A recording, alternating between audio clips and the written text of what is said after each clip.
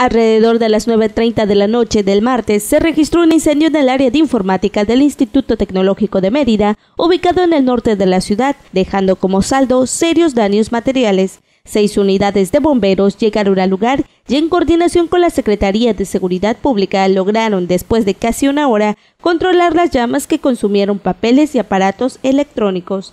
En primera instancia, las autoridades indicaron que la causa de este siniestro apunta a un cortocircuito, sin embargo, los peritos serán los encargados de las investigaciones pertinentes. Afortunadamente, no se reportaron heridos y solo se registraron daños materiales por varios miles de pesos. Notivisión.